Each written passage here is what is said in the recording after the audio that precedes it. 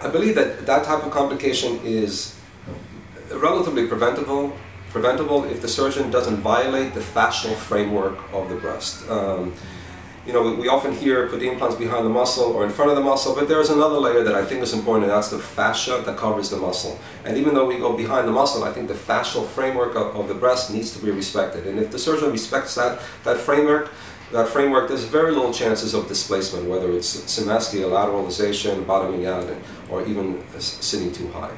Uh, but regardless, we do see a lot of patients that come in with displacement problems. Again, when the implant is not sitting in, in its optimal place. So um, how do we fix that? We generally fix that by what is called an internal bra or a capsulorrhaphy, and we use basically sutures to close that pocket. Um, there's always a controversy what kind of sutures we use. Should we use permanent sutures or absorbable sutures? Uh, I personally don't think that the sutures play that much of a role. I think that what you do to, to the capsule is more important. Uh, use the analogy of, an, an, of a laceration to the skin. You know, if someone unfortunately gets a laceration to the skin, we put stitches in there. Seven days later, ten days later, we take the stitches out, but yet the skin is still closed. So we don't have to keep permanent sutures in there in order to keep that healed.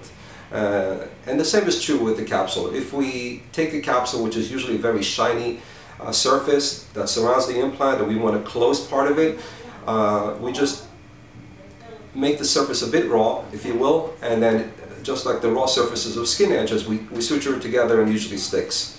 There are some new products. Some, some patients are problematic, and even though you do that, you use permanent sutures, what have you, there's recurrence. There's just not enough support to keep the implant where it, uh, it should be.